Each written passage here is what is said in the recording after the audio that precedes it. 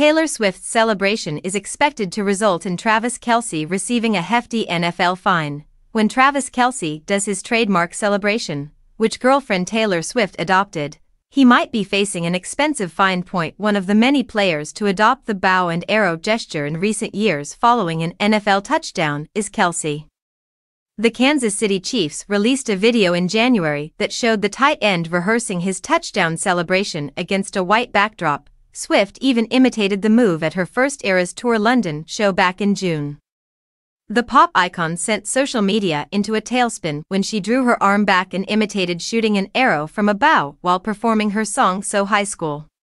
Swift used the gesture appropriately on her song The Archer, which has the line I've been the archer, I've been the prey, during previous performances on her Eras tour.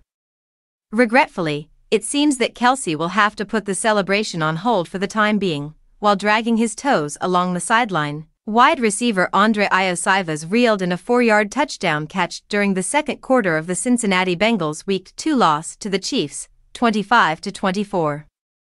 Upon confirming with two officials that the 24-year-old was inbounds for the score, he let off multiple fictitious arrows into the Arrowhead Stadium stands. Apparently, the gesture did not sit well with NFL executives.